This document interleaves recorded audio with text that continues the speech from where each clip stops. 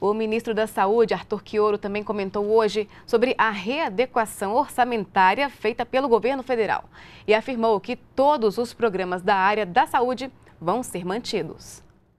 Não há comprometimento das ações, eu tenho afirmado isso de forma categórica. O Brasil passa por um necessário ajuste, seu orçamento, da sua economia, um ajuste fundamental para a retomada do desenvolvimento, mas a presidenta Dilma determinou que houvesse uma preservação das áreas sociais, da saúde, da educação e no nosso caso, nós obtivemos um valor orçamentário é, que inclusive é superior à lógica da constituição dos orçamentos anteriores. Todos os anos nós tínhamos o resultado da constitucional 29, que era o valor do ano anterior, mais a inflação, mais o PIB. Este ano isto foi preservado e nós tivemos ainda 3 bilhões e 100 milhões de reais a mais. Portanto, programas estratégicos, como Mais Médico, assistência farmacêutica, o repasse aos municípios, aos estados, às santas casas, estão absolutamente preservados e não serão comprometidos. Pelo contrário, nós teremos condições de honrar todos os nossos compromissos, porque o ajuste é feito para o desenvolvimento e não poderia comprometer a área social